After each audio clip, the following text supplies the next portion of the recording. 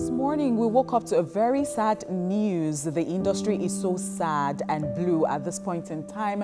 And uh, well, the only memories we have of her is fond memories. And I'm talking about OAP uh, Tosyn Bucknor. She would uh, really, really be missed. Uh, it is with a feeling of sadness, shock, and denial, all wrapped up in one that we announce the heartbreaking news.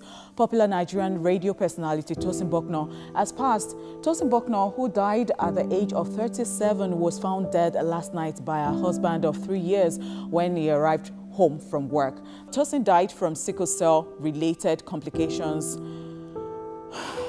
In all the tributes I've read, one thing that stands out is how much light Tosyn Bucknor, aka area boss, area mama, brought into any room she walked into. We pray for comfort for our husband, our family, and our friends in this time.